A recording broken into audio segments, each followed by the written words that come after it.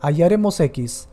Para eso aplicaremos la definición, el cual dice que el número que está debajo, o sea el x, lo elevamos al que está igualado por acá, y eso es igual al que está aquí. A ver, como dice acá 4, busquemos cuatro números iguales que multiplicados te dé 16. Fácil, ¿verdad? Con el 2, si lo multiplicas 4 veces, 2 por 2, 4 por 2, 8 y por 2, 16, da. Probando con el 2, por eso x es 2.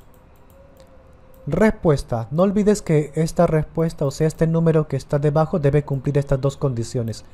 Y si cumple. Así que esta es la respuesta.